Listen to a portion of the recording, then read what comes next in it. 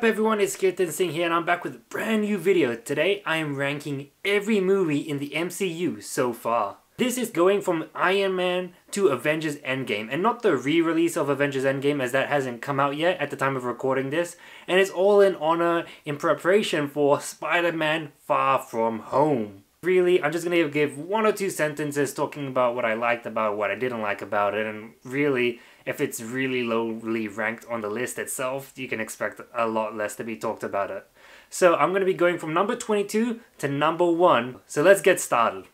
Coming in at number 22, we have Thor The Dark World. Now, this is probably the most hated movie in the MCU by most people, and really, I also don't like it either. I think it has one or two good moments. It's definitely got a few entertaining moments to say the least, but overall, it's a real mismatch of just too many ideas and like squandered opportunities basically. At number 21 we have Captain Marvel. Now this is probably one of the most mediocre movies I've seen in the MCU. I was actually bored when I was watching it in cinemas. I saw so many problems with the movie when watching it and you know I've only seen it once at the time of making this video so maybe it may be higher ranked in the future but as far as I can tell from the first viewing of it it's just nothing special about it really. At number 20 we have Iron Man 2. Now this I was actually debating whether putting it as number 21 or number 20. So this could easily one day just flip with Captain Marvel because this movie like Captain Marvel just tries to do a whole lot and is so poorly written that it's just a mishmash of just uh, just just not good at all to be honest. I the one thing I can say with this and Captain Marvel, Talos was great in Captain Marvel and Justin Hammer is great in Iron Man 2. hey. And bringing us out of the 20th spot, we have Thor at number 19. Now, this first Thor movie wasn't that bad when I remember watching it when I was younger, but to be honest, now looking back at it and actually rewatching it, it wasn't really that great. It was, it's fine, you know, it's a pretty standard movie with an origin story, but Holy crap, are there way too many Dutch angles. Continuing on with origin stories, we have the forgotten MCU movie at number 18 of The Incredible Hulk.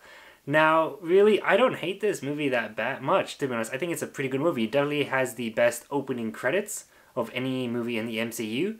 I think because of how it tells the story of Bruce Banner um, without you know, having really any dialogue. It's all through these short clips in the opening credits, and that's probably the best part of this movie. I love future callbacks with the super soldier serum and how they run. I love how the Hulk looks in this movie. It's really gritty, and Edward Norton is the best Hulk slash Bruce Banner.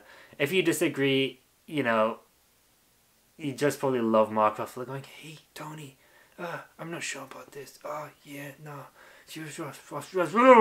I can't stand it. I think it's fine, you know, for the calm sense and stuff, but Edward Norton has a good balance of that on the side of balancing of anger and, you know, calmness and that. Mark Ruffalo can't do angry as hell. So, Incredible Hulk is at number 18. And at number 17, we have Ant Man and the Wasp. Now, I actually do enjoy this movie, but then after doing my rewatch of all these 21 films, it was really hard to actually do really rate this highly I should say because this movie it's fun it's enjoyable. There are a lot of mistakes with it though and that's the same set with the first Ant-Man movie as well but I'll get into that later on. So Ant-Man and the Wasp is enjoyable but there are a lot of problems with it.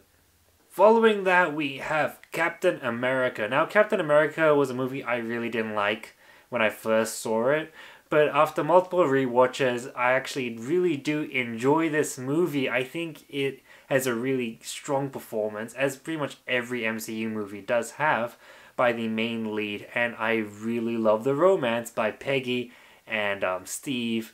It's really hard to go wrong with this movie, except for the fact that the action is pretty lackluster. Finally, we have another origin story. At number 15, we have Doctor Strange. Now, Doctor Strange is actually a movie one of my friends really enjoys, and I think it's a fine movie, but it just feels too much like a copycat of Iron Man. And really, I don't find Doctor Strange enjoyable until we see him in Thor Ragnarok and Infinity War. But this movie is enjoyable, and it has probably one of the best climactic fights in the MCU with Doctor Strange just go looping over and over and over again with Dormammu and it's not just a CGI fight. While it is pretty much all CGI, it's not. It's different, I should say. It's different. Yeah. And at number 14, we have probably one of the most controversial movies that I'm going to put on this list at this level, I should say, is Black Panther. While I do enjoy Black Panther, I saw it in cinemas, and obviously a lot of people did enjoy it because it's so highly rated, earned a lot of money.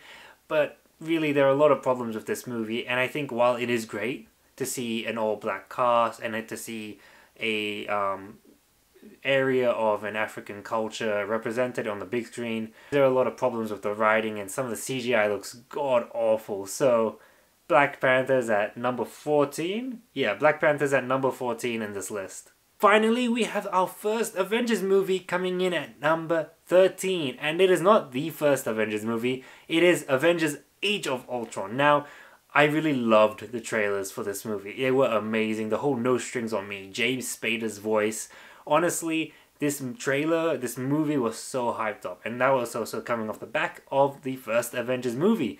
So I was honestly expecting more. And while this is an enjoyable movie, and I don't think it's as bad as many people say it is, there are just a lot of movies which are better than it, or at least, you know, from a more stylistic and writing perspective, it's a little bit more weaker than the others.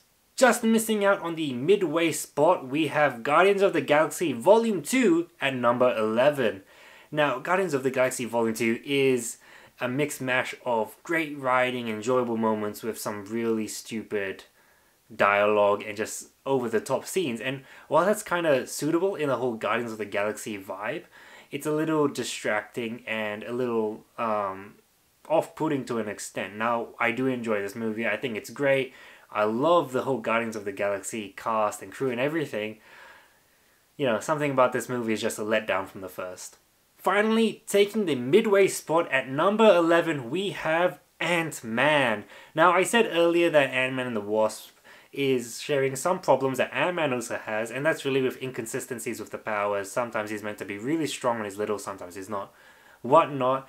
Um, but honestly, I enjoy this movie. It's an enjoyable movie, and I think the villain is actually really great. I really enjoy Yellow Jacket, and um, I think the whole dynamic between the whole cast and everything, and Paul Rudd, you know, was surprisingly great in this movie. And I love Paul Rudd, but I was still so glad that he wasn't just, you know, poorly portrayed in this movie.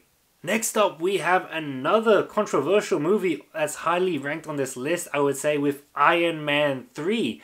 Now, I love Iron Man 3, and before you're shredding me in the comments or really complaining or sighing or anything like that, yes, I know the Mandarin is not as good as he is in the comics and other forms of media.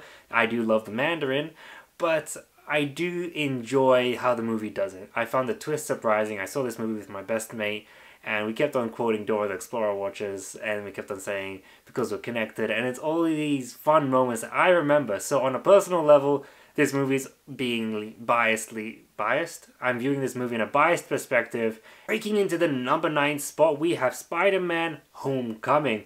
Now this is a really enjoyable movie. It's such a good teen film. It's such a good um, mentor um, apprentice kind of film with Iron Man and Spider-Man, and it's just so much fun. Is it the best Spider-Man movie? I don't really know. I have to rewatch the Sam Raimi ones to find out. But nonetheless, this is a really good movie, period.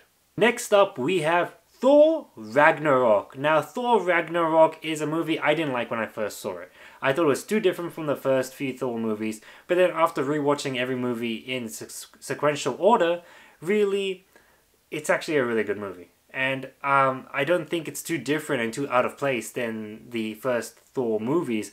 I think this works really well in continuing the story when you take into consideration the Avengers movies. If you don't consider those Avengers movies, then you can say it's a little out of place as a trilogy. But this is the MCU we're ranking, not individual trilogies. So as a whole of the MCU, this movie is really good, it's really entertaining, and that's why it gets the number 8 spot on the list. Finally, at number seven, we have the movie that started it all, Iron Man. Now, Iron Man is one of my personal favorite movies. Iron Man is such an enjoyable movie. I think Obadiah Stane is perfect. Yes, some people do complain about his um, motivations at the end and his ideas, but nonetheless, I still really enjoy it, and Robert Downey Jr. is the perfect casting for this movie. Missing out on the top 5 at the number 6 position, we have Captain America the Winter Soldier. Now, you asked me a few months ago, before I did this rewatch, what my favorite MCU movie was, I would have said The Winter Soldier. I really didn't like this film when it first came out because I didn't like Captain America. I, I didn't like him from the first movie, and I just didn't want to like this movie. But then I couldn't help but enjoy it and enjoy it and enjoy it, and it's honestly a great movie. It's a great spy thriller. Sure, it's not really as artistic as many people make it out to be, but I still think it's different enough and it's got that whole genre of the whole um, kind of like undercover agents and the whole syndicate kind of thing. And it works really well, and I enjoy it. You know, it's a well made movie, and it really kickstarted off the Russo brothers' journey in their part of the MCU. Finally, we reached the top 5 movies in the MCU on my personal list. So, coming in at number 5, we have Captain America Civil War, the movie that pitched, the movie that had Iron Man versus Captain America while it wasn't as epic as the pages of the comics itself, it was still satisfying to watch and I honestly was really looking forward this to this movie and rewatching it several times. It's it's such a good movie. It's so enjoyable. Sure there could be a few faults of the writing, but it's nothing that you can really pinpoint because everything else just distracts you from it and makes it an enjoyable movie. At number 4 we have the first Avengers. Now, Avengers is a fantastic movie. Sure, it's lit like a TV show, it's filmed like a TV show, but it's still enjoyable. When I'm watching it, I don't really notice there are no cinematic bars. I don't notice all these small things, but I recognize it as a really enjoyable movie. You can see all the heroes come together, and you know, while it's the kind of telegraph to what's going on and everything, you can't just help but have a good time when watching this movie and now we reach my top three favorite movies in the MCU. Now, these three movies, I feel like any day I could just flip them around. But for now, this is where the list lands after rewatching Avengers Endgame twice, wishing I could rewatch it a third time. But this is where it stands at the number three spot. Avengers Endgame is an amazing movie. What it does and how it carries on the story and also ends it in such a satisfying way is something I, I really can't put into words. The amount of detail that went into the film, the amount of thought, and really just looking at watching the movie a second time, I was looking at the background details. You see Proxima holding the guy she loves as they're being snapped because he's dead already, and she just snaps away while he's in his dead body, holding his dead body, sorry, and like you're just noticing these things and the way Thanos sits down and everything when he's dying, the whole I am Iron Man. The portal scene, there are so many great moments in this movie itself, and really is just an enjoyable movie. It handles, handles time travel very well, and really I can't fault it because it gives a beautiful and satisfying conclusion to the first 11 years of the MCU. Following up Avengers Endgame, we have Guardians of the Galaxy in the number 2 spot. So Guardians of the Galaxy is easily easily my favorite non-Avengers movie in the MCU.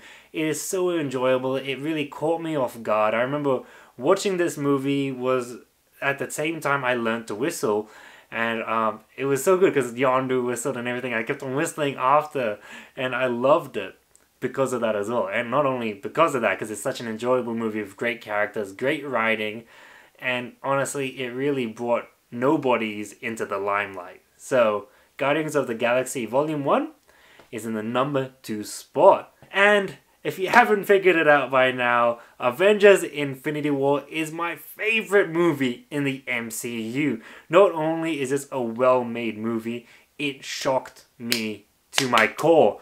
Now, I did not expect this ending in this movie. I thought Thanos would get one or two stones and that would be it. Maybe kill one or two people, nothing more than that. He gets all the stones. He snaps away half of the galaxy and I'm left on that cliffhanger. And honestly, oh, it's it's an amazing movie. There's no way to say anything else apart from Infinity War being an amazing movie. Let me know what your favorite and least favorite movie in the MCU is in the comment section down below. Hit that like button and subscribe to my channel for more videos every week. I'll catch y'all next time. See us.